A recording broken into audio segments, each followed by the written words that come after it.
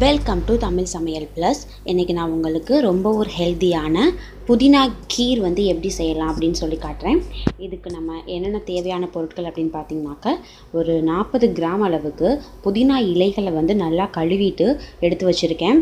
அடுத்து பார்த்திங்கனாக்கா ஒரு ஐம்பது கிராம் அளவுக்கு தேங்காய் பூ நம்ம சேர்த்துக்கணும். அடுத்து நம்ம ஜூஸ்க்கு தேவையான தண்ணீர். அடுத்து பார்த்திங்கனாக்க நாட்டு சர்க்கரை வந்து தேவையான அளவுக்கு நம்ம சேர்த்துக்கணும். இந்த இந்த நாலு ஐட்டம் வச்சு தாங்க நம்ம வந்து ஜூஸ் செய்ய போகிறோம் கீர் வந்து ரொம்ப டேஸ்டியாக இருக்கும். வாங்க இது எப்படி செய்யலான்னு பார்க்கலாம். ஃபஸ்ட்டு வந்து ஒரு மிக்ஸி ஜார் எடுத்துக்கலாம். அதில் நம்ம எடுத்து வச்சுருக்க புதினா இலை தேங்காய் பூ எல்லாத்தையுமே சேர்த்து மிக்ஸ் பண்ணிக்கலாம். சேர்த்துட்டு ஃபஸ்ட்டு மிக்ஸி ஜாரில் ஒரு ஓட்டு ஓட்டிக்கலாம்.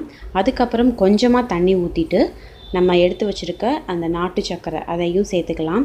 சேர்த்துட்டு நல்லா தண்ணி விட்டு அடித்து எடுத்துடலாம் எடுத்துடலாம். இப்போ பாருங்கள் ஃபஸ்ட்டு ஒரு ஓட்டு ஓட்டிட்டேன். இப்போ இதில் வந்து நாட்டு சக்கரை சேர்த்துக்க போகிறேன் இந்த புதினா கீர் பார்த்திங்கனாக்க ரொம்ப உடம்புக்கு வந்து ஒரு ரெஃப்ரெஷிங் ஜூஸ் மாதிரி இருக்கும். இது வந்து மென்தால் இருக்கிறதுனால புதினால நமக்கு வந்து அல்சர் இந்த மாதிரிலாம் வந்து ரொம்ப சரி செஞ்சு கொடுக்கும். அதே போல் வாய் புண் வாய் துர்நாற்றம் இந்த மாதிரிலாம் இருக்குனாக்கா அதெல்லாம் சரி பண்ணி கொடுக்கும். இப்போ இதை வந்து நான் வந்து ஃபில்ட்ரு பண்ணி எடுத்துட்டேன். பாருங்கள் நல்லா சூப்பராக நல்ல ஒரு மணமாக இருந்தது.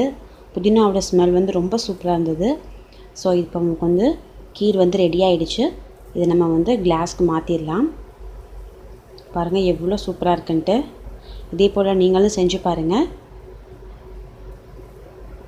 நன்றி வணக்கம்.